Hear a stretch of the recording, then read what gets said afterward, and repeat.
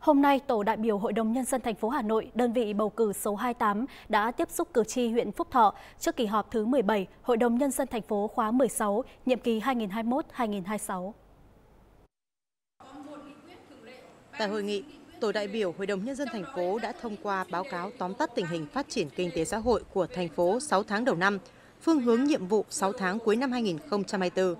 Báo cáo trả lời những kiến nghị của cử tri ở các kỳ tiếp xúc trước. Với tinh thần thẳng thắn, cởi mở, cử tri huyện Phúc Thọ nêu các ý kiến liên quan tới việc kiến nghị thành phố sớm triển khai thi công cầu Vân Phúc, đoạn qua sông Hồng và tuyến đường kết nối ra quốc lộ 32. Bên cạnh đó, các cử tri cũng kiến nghị thành phố sớm hoàn thành lập hồ sơ địa giới giữa huyện Phúc Thọ với các địa bàn lân cận.